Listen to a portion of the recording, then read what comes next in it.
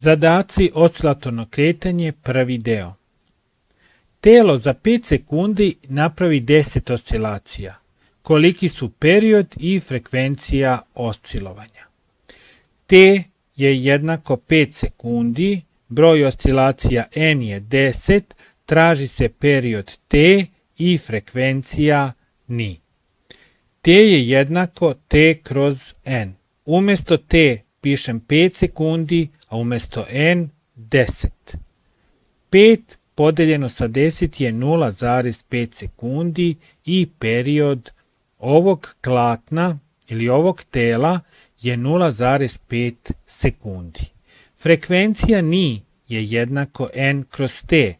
Umjesto n pišem 10, a umjesto t 5 sekundi.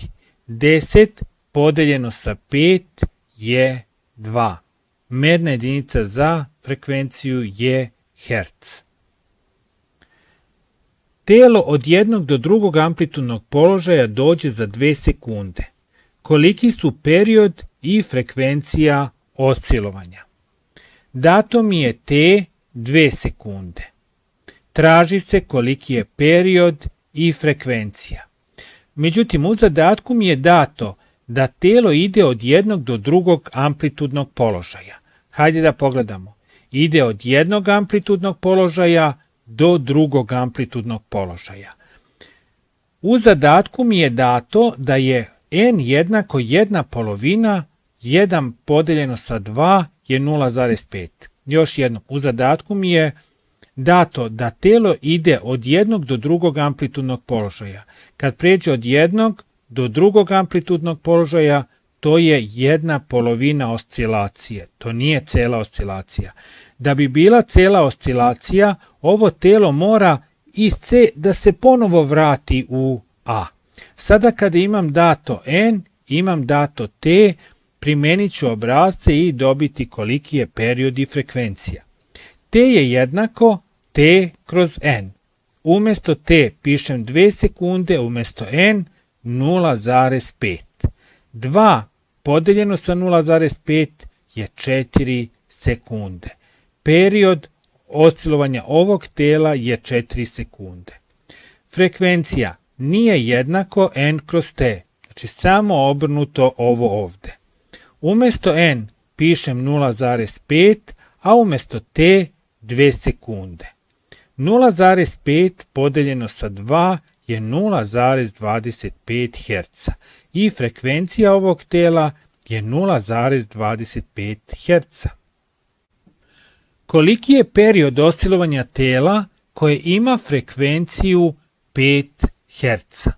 Nije jednako 5 Hz, a traži se T.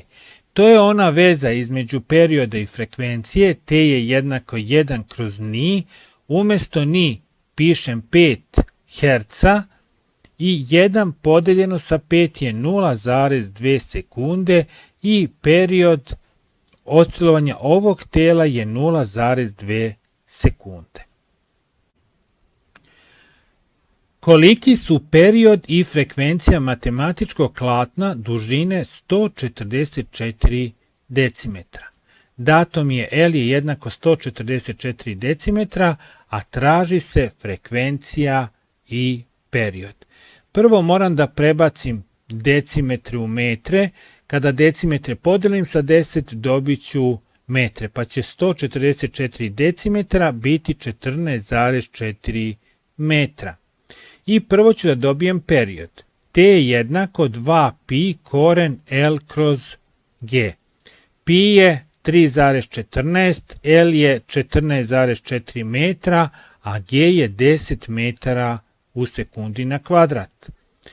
2 puta 3,14 je 6,28, 144, e, pardon, 14,4 podeljeno sa 10 je 1,44, skrati metar i metar, ostaće samo sekund na kvadrat.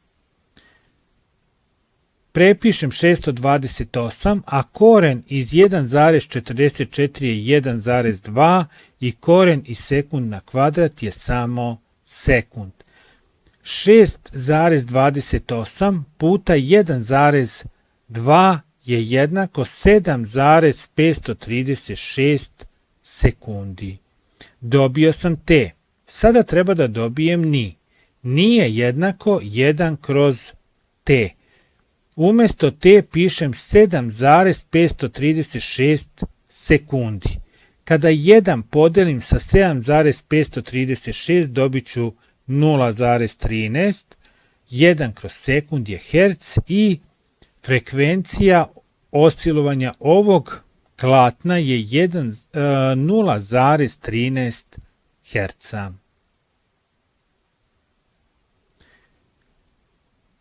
Koliki put pređe telo za 50 oscilacija ako je amplituda 0,5 decimetara? Dato mi je da je amplituda 0,5 decimetara. Amplitudu označavam sa x0. Broj oscilacija je 50, a traži se S.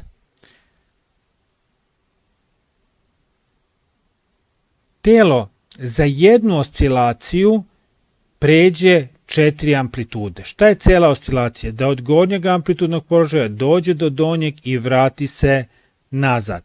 Preći će jednom amplitudu, drugi put amplitudu, treći put, čet, četvrti put. I za jednu oscilaciju preći će četiri amplitude.